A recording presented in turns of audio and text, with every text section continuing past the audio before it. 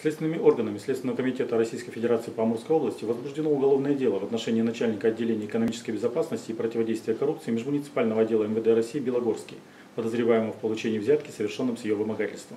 По версии следствия, вечером 20 сентября 2016 года в автомобиле, припаркованном около одного из домов, расположенных по улице 50-летия комсомола в городе Белогорске, сотрудник полиции получил от местного жителя, занимающегося незаконной организацией и проведением азартных игр, взятку в размере 60 тысяч рублей за непроведение соответствующих проверок в отношении деятельности указанного гражданина и дальнейшее общее покровительство.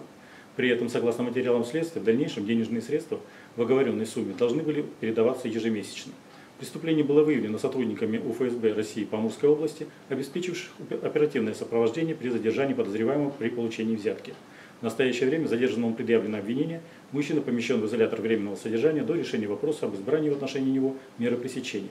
Следствием устанавливаются все обстоятельства совершенного преступления, расследование уголовного дела продолжается.